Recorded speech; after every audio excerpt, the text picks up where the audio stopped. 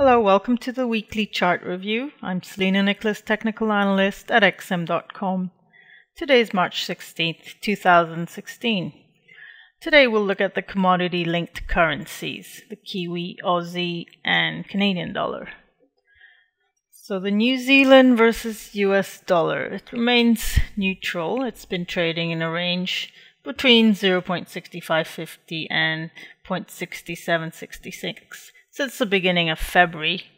The 200 day moving average is strong resistance to the upside. If we look at the MACD, it hasn't really changed much. It's pretty much flat, although it remains above zero, so it's in bullish territory.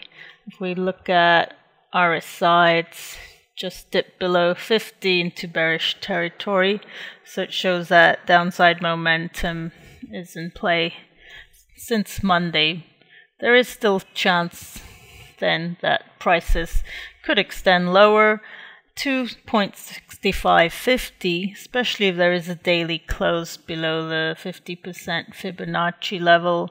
Uh, this level is of the decline from 0.6881 down to 0.6346.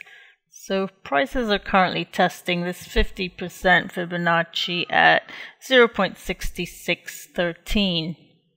Now if prices uh, continue lower and break below the lower bound of the range, below 0.6550, this would bring the January 20 low into sight. This level is at 0.6346.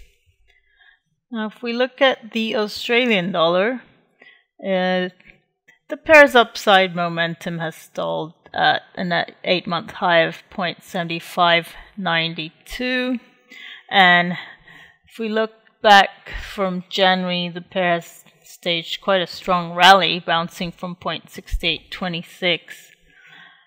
The RSI uh, has turned down now, so this indicates that the upside momentum has weakened.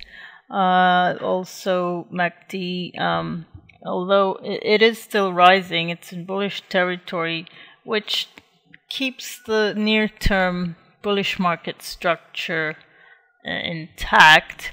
So we we cannot say that there has been a shift in the bullish market structure yet, and this could be slight correction unless prices break below 0.7384. This would be the top of the range.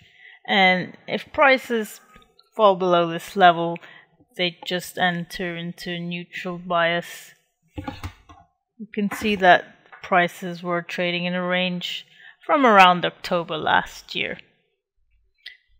So if we look at the Canadian dollar now, USD CAD been consolidating around the 200 day moving average, but the outlook remains bearish after prices have been steadily falling from the high of 1.4689.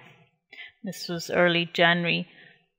The market has now retraced more than 61.8% of the up leg from the October uh, 1.2831 low to the high of 1.4689.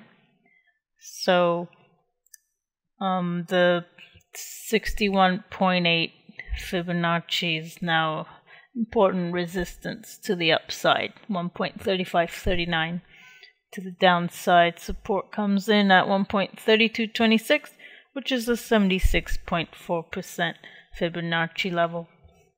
Thank you for watching and have a great day.